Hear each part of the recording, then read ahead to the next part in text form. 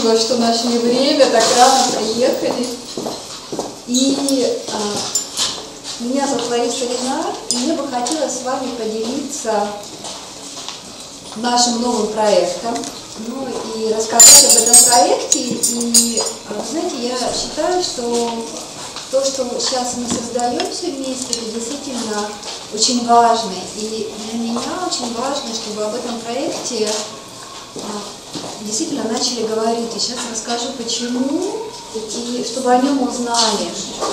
А, может, мы сначала как-то познакомимся? Тогда можно я попрошу вас назвать свое имя, откуда вы? Да, чтобы я уже как-то так знала. И а, да, какой? А следующий там, да, да. Я а, расскажу чуть-чуть про себя, да? Да.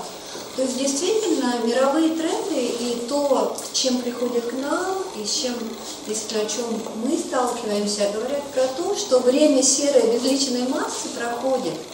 И все больше и в экономике, и в развитии, и в обществе востребованы люди, которые в чем-то уникальны, соединены со своим талантом – и готовы создавать нечто новое. Ну и то, что если раньше была действительно борьба за ресурсы, сейчас борьба за таланты. Да, и 90% реклама, ой, 90% компаний, они в поисках талантливых, уникальных людей. И мне очень понравилась недавняя статья в Форбсе Михаила Фридмана о индиго-экономике. Да, это как раз тоже была про это, что сейчас а, мир и общество, и Россия в числе нуждаются в талантливых людях. Причем не просто талантливых людях, а людях, которые умеют работать в команде, умеют себя проявлять, умеют что-то создавать. Ну, ну, естественно, там наличие облака инфраструктуры – это больше к области э, экономики, политики. Но то, что но то, что можем сделать мы, а, мы действительно можем научить наших детей и себя да, использовать эти таланты. Потому что, ну, вы, наверное, знаете, что обычно да, говорят, что вот Россия – страна непризнанных гениев, да. И это было до этого, потому что сейчас, в принципе, у нас есть все, чтобы стать признанными гениями. И если посмотреть, опять же, на историю того же Google, да, то есть вот то, что было заложено в Сергее Бримане, да, но это же российское воспитание, образование, да, его отца. То есть, да, он уехал, но то, что он унес с собой, он унес то, что ему да, дали здесь, его родителям дали здесь. И но это вот на самом деле не статистика, это мои собственные представления. То есть если до этого была такая научная статистика, то мне кажется, что действительно очень многие корпорации, ну мы как компания, да, тоже, мы предпочитаем нанимать талантливых людей, потому что мы понимаем, что они могут сделать действительно нечто экстраординарное, что будет способствовать развитию компании. Да. А, доход, ну, опять же, это, да, я не знаю, но мне кажется, и то, что я вижу, чувствую, что это действительно он, как только ты соединяешься с тем, что тебе близко, дорого, тебе мир готов за это платить. И вы знаете, меня вдохновляет одна история. А, три года назад, когда у меня был тоже такой турнир, я была в Челябинске. В Казани тогда тоже с Асей были. И в Челябинске наша организатор Оксана Горошко, она а, пригласила фотографа Дмитрия Болотина. Ну и я, знаете, такая три года назад со своей этой, а, думаю, боже, какой талантливый мальчик. Он делал потрясающую фотосессию, мне, надо, конечно, надо вставлять эти фотографии. А, и, а, ну и как-то я думаю, вот, Дмитрий, а вы в Москву летаете? Он говорит, ну, как-то это дорого, далеко, и как-то... Я думаю, ну вот, все, талант погиб глубинки уральской. Наивная я. Талант себя найдет. И в этом году, когда у меня было турне, я звоню Оксане, говорит, знаешь, как-то московский фотограф, вот не нравлюсь я себе, а как там Дмитрий? Он вообще, он говорит, ты что, он прям летает в Москву? И я ему звоню, говорю, Дмитрий, вы можете прилететь? Он говорит, да, у меня много очень съемок в Москве, и вас сниму. И он прилетает, делает потрясающую фотосессию, все фотографии, которые сейчас для турне, это он делал. И тут я становлюсь амбассадором бренда вот этих часов IWC. И а, они говорят, Ларис, надо сделать фотосессию, как мы тебе их вручаем. А, у тебя, говорит, есть какие-то вот в Москве, мы своего позовем, или ты кого-то нам хочешь там, ну, кто-то есть, с кем ты работаешь? Я говорю, да, есть Дмитрий Болотин. Он говорит, откуда? Я говорю, из Челябинска. Ты что, он прилетит? Я говорю, ну, конечно, прилетит. Ну, тем более IWC, это швейцарская там компания, бренд часовой, а, известный, международный. И а, он прилетает, он делает потрясающую фотосессию черно-белую. Потом, если интересно, тоже могу показать эти фотографии и скинуть, ну просто вот. И а, все эти бренд-менеджеры швейцарские, вся головной офис, они говорят, господи, теперь мы всегда будем его только звать на свои фотосессии. И да, и вот это вот то, как а, талант, если ты талантлив, мир тебя признает, и мир готов тебя, да, там, звать, э, помогать, поддерживать. И, э, ну и с точки зрения психологии, да, э, вы понимаете, что когда человек занимается любимым делом, он, естественно, вдохновленный, он, ему не нужны, опять же, если говорить с точки зрения физиологии, да, наркотики, там, алкоголь, потому что у него уже вот этот да, удовольствие от деятельности, адреналин, состояние. И это, кстати, Натали Роджер в своей книге «Творческая связь», она тоже про это говорит, что а, если дети в состоянии творчества, то у них снижается, точнее не снижается, перестает быть вот эта потребность в наркотиках. То есть тем самым мы еще и спасаем наших детей от да, вот этой подверженности разным негативным влияниям. И здесь я подняла, а, привела несколько запросов, это по из книги Стивена Кови как раз про воспитание лидеров. Что ждет бизнес-сообщество да, от сотрудника и от, да, и высокая креативность, опять все, все в общем-то понятно, да, ответственность, умение работать в команде, да. угу. Ситуация. Что ждут родители? В общем-то, родители, мы как родители да, ожидаем, в принципе, того же самого. Да, чтобы наши дети были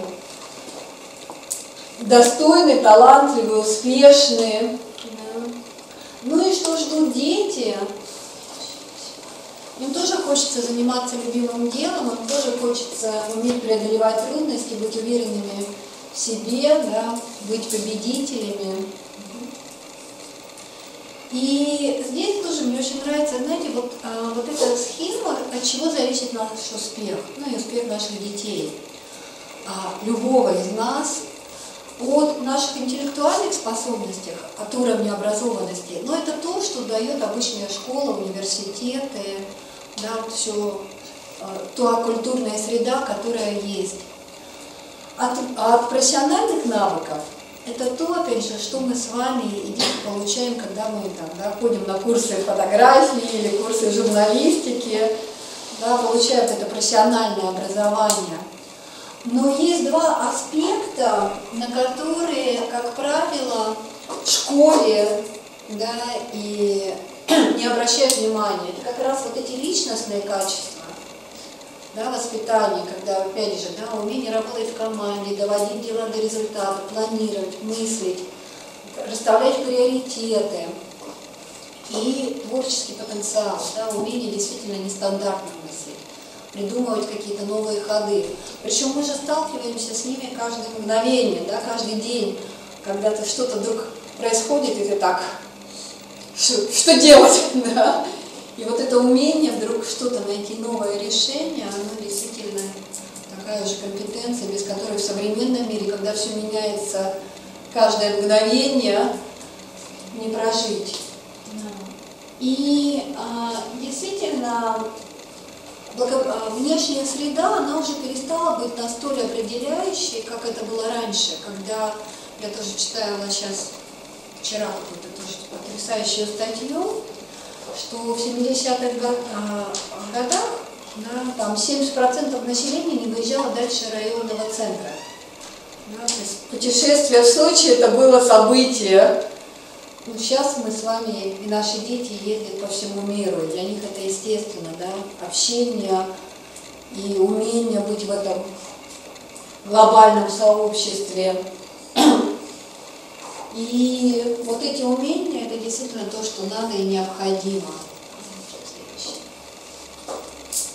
И про проект, который мы сейчас запускаем, он действительно создан для подростков 14-16 лет, чтобы им понять, в чем их талант, потому что талант, и, в общем-то, это тоже же реальность, а, это то, что заложено в наших генах. То есть мы не можем на самом деле развить то, что нам не дано. И если мы делаем то, что нам уже дано, то мы в этом более успешны, нам в этом, да, мы развиваемся, мы в этом более эффективны. Ну, я не знаю, а, мне очень, опять же, утренний наш сегодняшний разговор, можно, да, рассказать эту историю? А, Айгель. Айгель, да. Я, знаешь, запомнила, что Ай это же луна, а Гур... А? Лунный цветок. Лунный, лунный цветок, да. Я помню, вот лунный цветок. Теперь, вот, а, а можно, да, про мягкие игрушки? Да, хорошо. Ну, просто утренняя история Гелена. Так что, Гель, сейчас тоже будешь в историю. Про то, что мы сейчас как раз с с утра, пока меня тут фотографировали, а, красили, мы говорили про, таланты, про то, чем нравится заниматься. И Альгель мне рассказала потрясающую свою историю про то, как в детстве ей нравилось шить мягкие игрушки. И она до сих пор их сейчас шьет, создавая игрушки, даря их, и дети с ними спят, там, да, люди с ними да, соединяются. И вот это вот, и нам, в чем талант, проблема с талантом, что он нам, для нас настолько естественный, что мы его не рассматриваем как талант.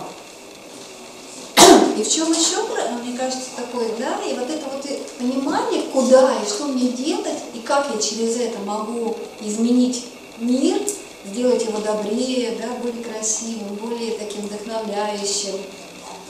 А когда мы с этим соединены, я прям в этом уверена, что детям очень важно а, понимать свои таланты, знать, что с ними делать. И здесь еще важна поддержка родителей. Вы знаете, вот мы начали уже эту программу, сейчас я тоже покажу, мы вот ее только-только запускаем. А мне, и одна из наших преподавателей, она мне звонит, пишет там ну, письмо в ужасе, говорит, у нас первое занятие как раз посвящено определению детьми своих талантов. И домашнее задание прийти к родителям и спросить, папа, мама, какие таланты вы во мне видите? Когда я узнала, что ответили родители, я разрыдалась. Знаете, что сказали родители? Они сказали одному из детей, твой талант меня бесить а другому твой талант – лень. И когда увидели, ну, что дети ну, как бы сжались и такие, ну, ну, ну, ну, рисовать еще умеешь. Да? То есть вот это вот, а, то есть родители, они, они не готовы даже видеть в дете, детях талант, да, они готовы его поддерживать, готовы бы его да, как-то холить или леять.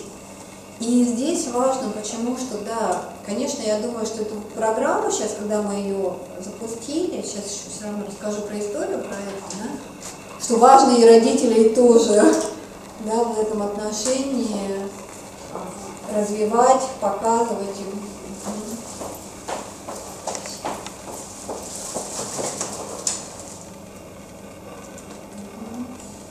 И, в принципе, действительно, что важно, чтобы дети не только знали, в чем талант, но понимали, что с этим делать. Есть, да, потому что профориентация, ну, в общем, сейчас, мне кажется, в каждой школе. Но вот это умение хорошо, а как проектное мышление, да, как создать некий проект, когда ты там да, знаешь свой талант. А, и как благодаря этому получить деньги, потому что очень многих страх, и он прям заложен в родителей тоже, да, что если ты будешь заниматься любимым делом, ты себя не прокормишь. Ну, тоже есть такое. И тоже рассказывают истории, когда девочка говорит, мам, я хочу там быть визажистом, а мама говорит, нет, дорогая, ну юридически. Да? Точно деньги заработаешь. Какой там визажист? спрашивайте, если что, какие-то... А, да, можно. Полагаю, четыре этапа. Первый этап представления программы и а, 9 занятий, в ходе которых дети делают проект. Не слышно? Вы сами задеваете микрофон, я думаю, надо повесить на середину блока, может, длиннее. А то брат по звуку. Да, там да. Защита проектов и затем пятидневный тренинг в Подмосковье для тех, кто победил. И а, презентация программы это как раз детям, родителям, учителям и администрации школы. И мне кажется, это очень важный этап. Сейчас тоже многие школы сразу начинают вести занятия. Говорят, что родители вроде как да, и не пригласить. Ну вот у нас как раз, когда три года назад мы делали этот мастер-класс, да, двухчасовой, для детей, мы э, в Казани, у нас было такое чудесное помещение, мы детей пригласили, а родителей оставили. Ну, как бы, а в Челябинске э, и дети там, ну, что-то мы с ними делали, э, программу двухчасовой как раз, мастер-класс, а в Челябинске э, мы этот мастер-класс проводили в книжном магазине. И у нас не было возможности вывести родителей, вывести родителей да. И э, это для меня это было огромное открытие, что родители, они наравне с детьми искали свои таланты. Но самое главное, они на детей посмотрели абсолютно другими глазами они осознали, в чем талант их ребенка, потому что они вместе с ними делали задания, да, как-то, и они потом подходили и говорили, теперь мне хочется поддержать ребенка вот в этом. Они, там, не заставлять его учиться там, не знаю, там, на финансиста или экономиста. И вот это, мне кажется, самое ценное, что родители, они становятся союзниками и сторонниками да, этого, этой программы. И дальше у нас 9 занятий. И вот эти 9 занятий, действительно, что такое твой талант и как найти идею для твоего проекта, как оценить имеющиеся ресурсы на реализацию проекта и как отношения с родителями да, влияют на это. А, как э, психотип, чтобы понять, а что у меня получается, а что мне надо нарабатывать, ну или команду э, да, собирать правильно ставить цели и писать план, как, ну, опять же, да, творчески подходить к решению проблем в виде процессов. Следующее.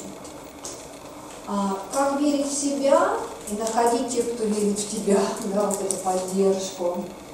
Как создать команду. И как научиться доводить дела до конца, получать результаты. Ну и как с этим, благодаря этому получить деньги, как презентовать свой проект и этапы подготовки проекта. И дальше, а, когда они проходят всю программу, она где-то рассчитана на два с половиной месяца, они уже представляют свой проект. И а, те, кто защищают, и те, кто выбирается лучший проект, и победителем как раз лагерь в Подмосковье. И каждый участник получает такую позолоченную монету, талант, потому что вы помните эту притчу про таланты, да, что талант это раньше была а, такая монета, да, серебряная, правда, которая да, кто-то талант закопал в землю, а кто-то да, приумножил, как символ процветания. Ага. И творческий лагерь это как раз вот такая, да, через экспрессивное искусство, но там на самом деле очень такая мощная программа, внутренними, как арт-терапия. Да, то есть они в рамках этого лагеря создают спектакль, но при этом очень много чего прорабатывается. Что внедряется в школу? Сейчас, скажи, да. Угу. А, что мы уже а, начали обучение учителей. Но мы как бы тут, опять же, важно, что мы открыты, потому что мы специально вебинары все записываем. То есть любой учитель, которому или любая школа, которому интересно подключиться, мы их сразу включаем в процесс. И уже начались уроки в школах, да, для детей. Ну и где-то мы считаем, опять же, кто как пойдет, но может 15 декабря закончится, начнется защита проектов, а мы планируем на весенние каникулы, чтобы уже как-то было такое, да, пол детей. И в принципе сейчас вот э, где-то сколько у нас, 15-20 школ мы пока запустили, запускаем. То есть какие-то школы подключаются, какие-то школы меняются. То есть пока этот список, он еще вот такой, формирующийся.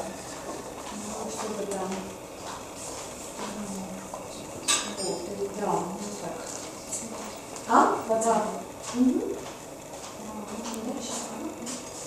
И история про... Если вот про сам проект вопросы, и это а, проект благотворительный, то есть в чем его еще особенность, что ну, учителям мы платим за проведение этих занятий. Да, то есть они ведут как в школе, как дополнительное образование, и еще мы тоже им за проведение занятий, ну, там, меценаты или мы. Ну, мы, нас, как компания, насколько можем, да, если это будет разрастаться, конечно, нам нужна будет уже кто-то, да, кто будет тоже участвовать в этом проекте. И еще в этом проекте, в принципе, участвуют ну, как бы, три стороны. Это волонтеры, это обычно родители, которым хочется, чтобы их дети участвовали в этой программе, поэтому они все находят, организуют и курируют. Да, то есть если есть дети-подростки, то вот можно стать, да, поучаствовать в этом проекте как я уже говорила, преподаватели, мне кажется, тоже это очень важный аспект, потому что, ну вот мой опыт 15-летней работы с женщинами, а, я вижу и верю в то, что когда, как только а, женщина меняется, она по-другому начинает относиться к детям, да, к окружающим, к мужу. Мне кажется, очень важно именно учителям проходить этот, участвовать в этом проекте, да, чтобы они тоже по-другому стали относиться к детям.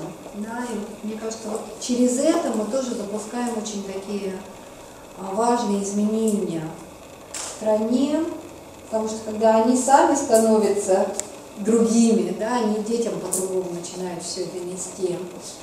И э, этот проект возник и школы для девочек. У нас там был несколько лет такой благотворительный проект, который мы тоже вели в Москве и в Санкт-Петербурге, школа для девочек. Ну, потому что мамы приходили и говорили, наших девочек надо тоже учить чему-то. Вот. И мы их учили. И у нас прошло где-то 70 девочек в возрасте 12-16 лет. Потом, как раз вот когда у меня было турне в 2013 году, а, я проводила вот эти двухчасовые мастер-классы для детей, но тогда мы не, не совсем понимали, как реализовать этот проект, что мы тогда да, искали, искали. В общем, сейчас к нам пришла, подключилась такая дама, которая разбирается во всех нюансах образовательной системы. Поэтому, в общем, это уже все запустилось, как это правильно. И был мастер-класс тоже для 120 детей из детских домов и школ в ходе благотворительного проекта «Радужная нить». А, ну вот, все. Так что с удовольствием отвечу на все ваши вопросы. А про меня тоже, я по образованию детский практический психолог, и в течение трех лет я вела такую программу раннего развития для детей. Где-то год и три у нас были детки с мамами. Все всегда как-то с мамами, больше с детьми. И потом на основании этого тоже написала программу для Леныши, книжки есть для Леныши, правда, по другой фамилии, Богданова. Ну, потому что это, да, двух ипостасях. Ну. А, и эта программа Леоныш, она до сих пор на базе одного из детских садов существует, развивается, то есть опыт накапливается раннего развития. Так что готова ответить на все ваши вопросы. Ну, скажите, пожалуйста, а 14-16 лет не поздно для выявления талантов в связи с тем, что сейчас, например, у нас ОГЭ и ЕГЭ, и как бы уже от детей требуют, чтобы они уже в 14, собственно говоря, определились, да, вот как-то с развитием. Вот, э, ну, вот как- какой талант, во-первых, можно выявить там с 14 до 16, и вообще, когда начинать надо обращать внимание на какой Ну, талант? конечно, в пять лет ребенок он максимально соединен со своим талантом, да, и это сразу видно. Но это уже таком, да, в идеале. А, В 14 лет они уже понимают, они уже знают, и здесь мы даже им больше говорим про области.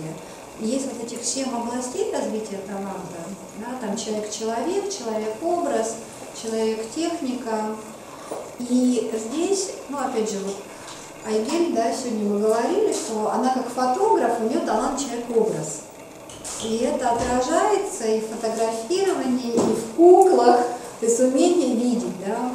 А, Но вот именно что в этой, то есть хотя бы область понять, да, а человек природа или где ты там, да, находишься, или человек-человек.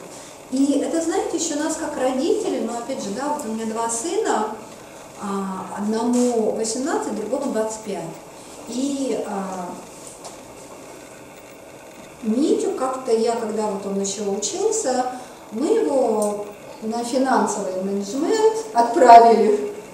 И он бросил да, университет на третьем курсе, сказал, что ему это неинтересно. Ну и тогда я такая, так, давай твой талант выявлять. Наконец-то мама такая созрела, да. А? Очнулась, да. И мы, я сделала с ним вот эти процессы разные, как найти его талант, там, да, и он у меня оказался прирожденный психолог.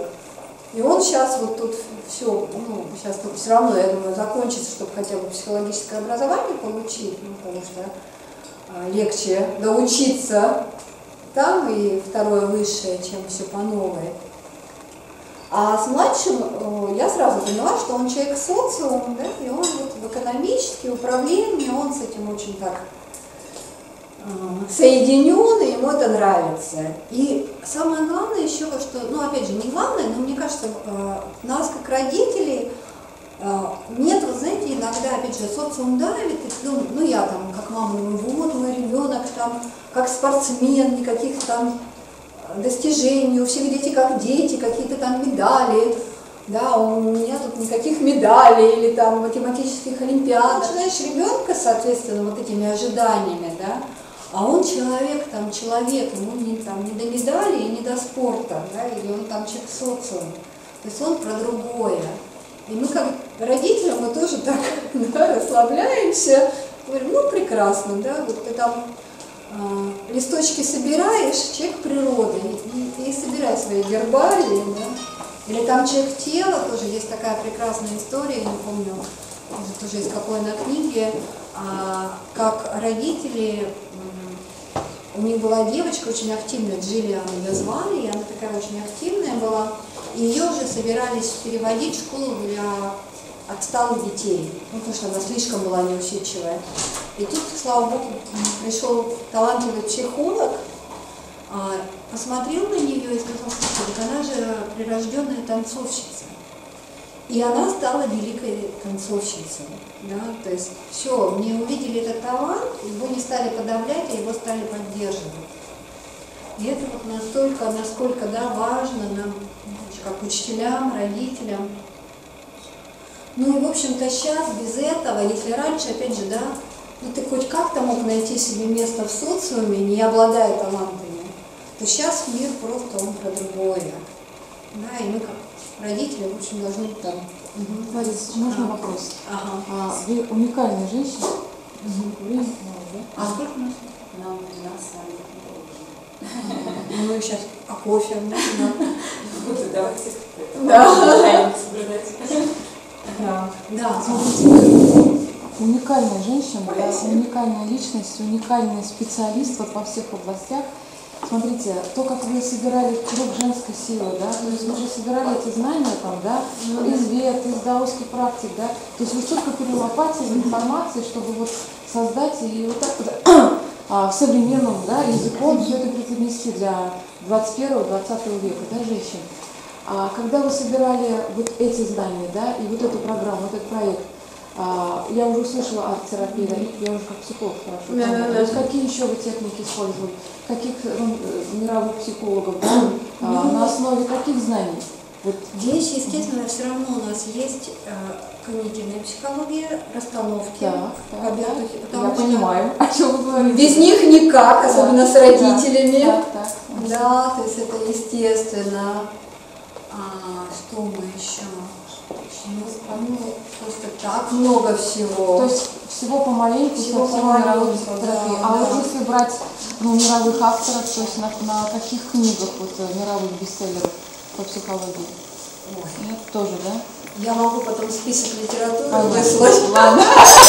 Хорошо, хорошо, хорошо. Да, Ну, очень да. масса всего. То есть вот прямо, да, там, ну, получается, что отовсюду Отсюда берешь да. какую-то самую эффективную методику, что-то там, ну, просто, да, что-то от Стивена что-то от, от всего. Да, много. Можно, можно вас попросить? Ага. Время заканчивается уже встреча, к сожалению, хотя очень много вопросов. Можете вы сейчас, сегодня для, наших, на- для нашей аудитории, да, мы все расскажем сегодняшней встрече с ним, дать э, небольшую инструкцию, может быть, для родителей, как определить талант своего ребенка и на что обратить внимание. То есть вот про семь э, областей вы Да. уже сказали, и я вот попросила вас Да. еще раз Да. перечислить. Мгм. И может быть вот все-таки что, что сделать, как сделать и э, чего нельзя делать. Вот, вот так вот для родителей. Мгм. Просто буквально инструкции. Ну, я думаю, что да, обратить внимание вот про Про это. это же тоже садитесь. Да. А можно, а кофе, да, можно? Да, спасибо. Да, вы тоже угощаете. Да, бокалами, да, бокалы нам не надо. Увидеть за тем, что делает ребенок, его талант. Ну и, соответственно, направлять его туда, поддерживать. И самое важное, что, мне кажется, для родителей все равно говорить, что вот есть у нас русская пословица «без труда не вытащишь и руку без труда», что понимать, что от таланта до мастерства нужно пройти путь. И в этом отношении ну, мне близка концепция, что гениальность это как раз а, проявленный талант. Да, что таланты даны всем, но чтобы стать гениальным, надо в этом трудиться, надо привнести усилия. И вот это вот все равно сказать, что да, ты делаешь это в удовольствие, но ты должен это развивать. Да, ты должен этому уделять внимание, иначе это останется на уровне Ага. И еще тоже а, а важно, опять же, не знаю, насколько это важно для родителей, но мне кажется важно, что а чем отличается талант от хобби? Да, хобби – это то, что нам нравится делать, но у нас не получается. Люди нам за это денег не будут платить. Ну, например, там, да, мне нравится петь, но я могу петь только там на занятиях по вокалу, потому что если я выйду, то у меня нет ни слуха, ни голоса, да, я не думаю, что кто-то готов был за это платить деньги и слушать это. да. А, а талант это настолько гармонично и естественно, что люди готовы это покупать, да, готовы за это платить. И вот это очень важный такой аспект, очень важное отличие. То есть понимать, что если мы поддерживаем талант, мы даем ребенку такую правду путевку в жизнь. Ребенок у меня очень Жили люди, которые занимаются любимым делом, во все века жили на 20 лет в среднем дольше, чем среднестатистические жители. Меньше болели. Почему? Потому что ну, с точки зрения физиологии, когда мы занимаемся любимым делом, мы на уровне тела получаем удовольствие. И не возникает вот этих блоков, страхов, зажимов, да, там, осуждения. Ну и, соответственно, человек а, да, более здоров, но и ребенок в том числе. Да, то есть, и э, мне очень нравится в этом отношении тоже, я на мастер-классе буду приводить эти страхи, почему страх успеха с чем связан. И вот один из страхов успеха связан как раз с осуждением и подавлением родителями талантов. Когда человек не может заниматься тем, чем ему нравится заниматься, он начинает убегать в болезнь, да, чтобы ну, и он не понимает, как еще привлечь внимание, потому что когда ты делаешь то, что тебе нравится, ты действительно наполнен да, силами, вдохновением, а, поддержкой, признанием. Ну а, соответственно, если этого нет, то мы уходим да, в блоки, в травмы и заболевания. Спасибо.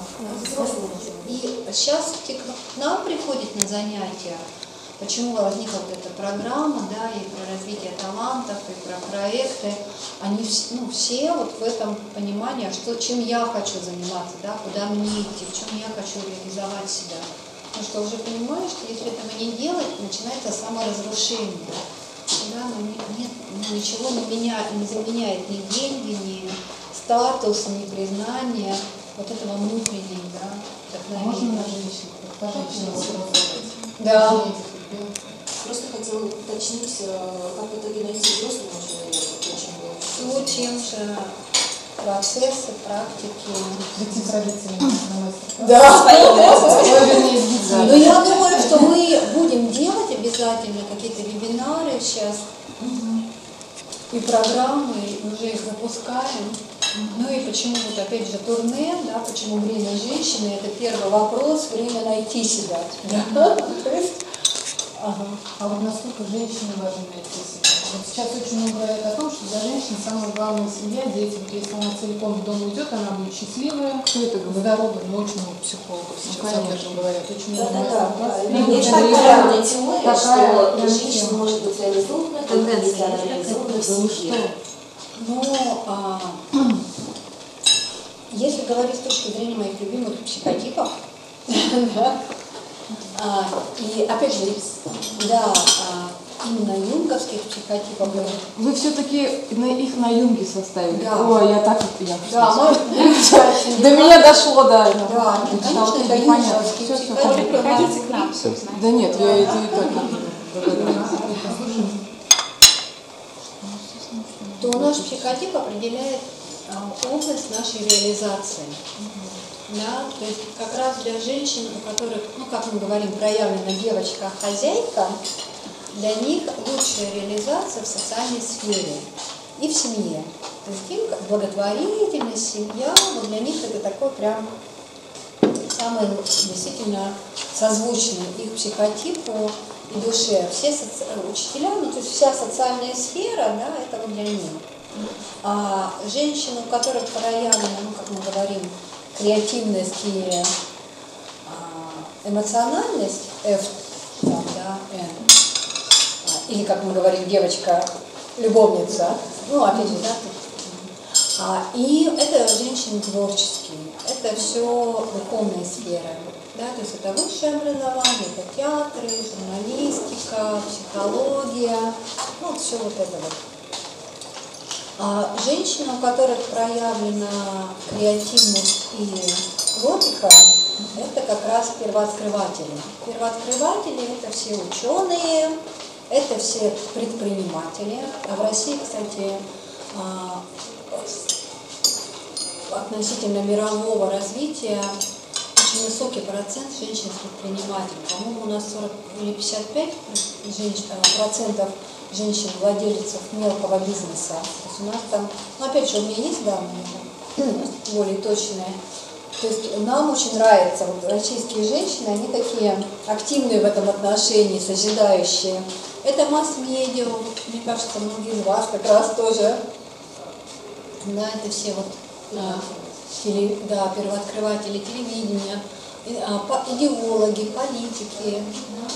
И сфера, когда СТ, или как да, а, как сенсорики и логики, это как раз бизнес-структуры, да, это фина- финансисты, ну вот все вот эти, да, то есть управленцы, это как раз вот королева. Да, королева и, и хозяйка. Ну, То есть это вот все такие Талант, например, у нее один, да? Или вот у меня там талант, я люблю писать, да? А, я люблю создавать красоту и собирать там, не знаю, команды. Вот у меня прям талант собирать талантливых людей вокруг себя. Да, то есть, и э, неважно, чем я занимаюсь, наружной рекламой, или там детским развитием, или anti-age медициной, я все равно буду писать статьи или книги, я буду делать это, ну, стараться создавать там красиво, да, потому что меня красота вдохновляет, чтобы это было красиво сделано, представлено там, да. И я буду собирать команды, да, то есть я не человек, я не могу там, да, в там, опять же, психотипа делать что-то одна. Мне нужно, чтобы был творческий коллектив. А в какой сфере, это уже, да. Я когда заканчивала биофак, а, и после биофака у меня был такой момент, когда я работала в боксе. Ну, микробиолог, у меня специализация. И вот я в этом институте, сижу в этом боксе с чашкой Петри. Я понимаю, что я не могу, мне нужны люди. То есть, и я все, я вот пошла учиться на то, что там психолога. Да. То есть это не мое, да. То есть- Ага. как вы соблюдаете личный вопрос, можно сказать, да, свою экологичность, потому что большое скопление людей, а, большой энергозатрат, вы очень много даете, много ездите, да, как вы себя восстанавливаете? Практики, медитации, утренние упражнения. Йога? Ну да, у нас все расписано. Комплексы. Каждые два месяца Вот, упражнения. Кстати, да, я хочу, ну, тоже меня этот вопрос очень интересует. У вас великолепная фигура, вы отлично выглядите. Спасибо. Вы каким-то видом спорта конкретно занимаетесь? Только вот... Утренние упражнения. Да. Сейчас мы все стоим две минуты в планке. Планке? Ну, в планке. Знаю, знаю. Да. Две минуты. Ну, Особенно как люди талант читают, да. Есть смотри, все равно, если там человек образ, девочка будет рисовать там наряды, куклы, ну какой-то вот это вот все равно, да. Если техника, если там жучки-паучки, ну вот хотя бы область, да, посмотреть область. И методом исключения.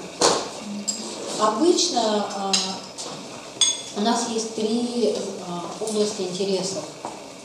И какие книжки нравится читать, про что фильмы нравится смотреть. Да, вот прям какие герои себя соотносят. Я тоже еще подумаю на этот именно для маленьких детей. Так, если мы не получили результат, то нам некуда двигаться, нам не на что опереться, да, нам некуда двигаться дальше. И вот это вот, да, то есть здесь через обратную связь, что можно делать, что можно сделать получше, да, как можно сделать. То есть мы не ругаем, но мы стимулируем, вдохновляем, да, как это? Через интерес. А что, да? Потому что, ну, я помню, когда я тоже училась э, психологии, еще детской, практической, и у меня моя а, преподавала, научный руководитель Мария Владимировна Осорина, такая очень известная детская практическая психология, она, например, была очень большой противницей вальдорфской психологии. Как раз потому, что там не было вот этого ну, готовности ребенка с жизни в социуме. Да, что его там все время хвалили, а мир не будет тебя все время хвалить. Нужно уметь принимать и критику, и знать, что с этим делать, и как. Да. И, и отличать, где критика, а где осуждение. Да. И мы тоже рисуем детям, например, вот эту табличку критика, осуждение, комплимент и обратная связь. Да. То есть тоже такая а? более пластичен, более восприимчив и более креативен. Ну, потому что больше этих связей. И, и, опять же, если говорить о сенситивных периодах развития, да, а, то если мы чего-то не делаем, мы потом это не можем наверстать. И когда мы говорим о раннем развитии, то формируется и мышление, и восприятие, и память, ну, все эти основные да, вещи.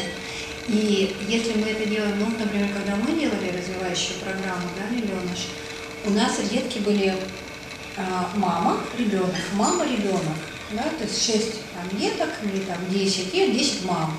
И вместе они все взаимодействовали. И были занятия, что и, и память, и мышление, и восприятие, и логика, и, ну, все-все-все. А какой возраст деток был? У нас был от года трех до трех. М. Да, да, совсем маленькие, и они прекрасны, да, и, и мы сколько тогда вели, и все дети, которые, ну, сейчас им по 25, там, это, конечно, то есть у них потом вообще никаких проблем в жизни не было. Ну, с точки зрения, да, мне кажется, с точки зрения всего. То есть дети, противники же раннего развития, они говорят, что если, например, ребенок начинает раньше учить читать, то он где-то будет тормозить, какая-то другая область у него затормозит, потому что вот там у ребенка определенные ресурсы, если вы не направляете все там куда-то, то тут вот они остаются там что-то другое. Ну, мне больше все-таки вот прям нравится подход физиологический, но с точки зрения понимания этапа да, развития. То есть когда А еще хотела спросить, вы все сказали, что там в развитии талантов там родители должны участвовать, учителя, а мне еще кажется, что сами компании, например, те же в Америке, когда вот Google, если взять, там такие условия работы, то есть там 38 бесплатных ресторанов, там капсулы для сна есть, там массажист, фитнес-зал, то есть и мне кажется, когда компания создает такие условия для работы, то есть и талант начинает туда тянуться, естественно, со всего мира. да. А в наших компаниях таких такого не наблюдается нигде. Ну, Придет время. Да, да, да. Будет, будут ресурсы, пока мы еще на создание ресурсов. Ну а как, как легко? Вот Что нужно сделать? Непонятно. Вот, Можно, то есть вы как родители можете прийти э. Директорам школ, да, рассказать про проект, что там они, или психолога, или учителя, которому они интересны. Нет, и, то есть вот как это, а, вы, А, вы да. в Москве, мы в Казани, как это интеграция? вот? А дальше у нас есть чудесная Ася, или есть мы вот там Понятно. Где-то есть координаты наши, ну, и мои координаты есть, да, там и у нас Арина, и Алла Шеляпина занимается. И дальше мы просто подключаем, человеку высылаем все планы, занятия, Ну, то есть вы обучаете? обучаем. да, Вы обучаете обучаем. специалисты из школы? Да. То есть человек, педагог из школы приезжает Да. в Москву? Нет, почему? Сейчас А, по скайпу, по вебинару. А, ну, понятно. Ну, пока, И это да. обучение для них тоже платное? Или это просто... А им еще потом приплачивать будут. Да, им еще приплачивать будут, да. За, за, Да. Да. И эти курсы идут два с половиной месяца. Это я правильно? Дети, а, нет, они ведут для детей. Они да. ведут для детей два с половиной месяца. А обучение ну, сколько обучение, тогда? в принципе, а, у нас получается 10 вебинаров, да, то есть вот где-то, ну, два дня. Я думаю, что, конечно, сейчас, если мы наберем пул какой-то, да, то мы вообще в течение двух дней Ну, смотрите, там же все равно необходима специализация. Мало, мало педагогическая, нужна еще на какая-то психологическая специализация у человека, который Ну, будет в желательно, школе, да? конечно, да. Ну, Но чтобы там такие процессы, да. они, в общем, опять же, минимально такие травмирующие. Ну, там нет Мгм, такого То есть да. импринтов там не, не А? Да импринтов там нет. Да, Да, не должно быть, конечно. Нет, там все очень экологичные процессы. И прямо вот. Дети, конечно, меняются.